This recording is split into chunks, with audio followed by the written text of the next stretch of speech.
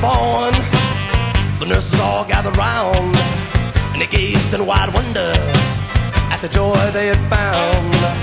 The head nurse spoke up, said, Leave this one alone.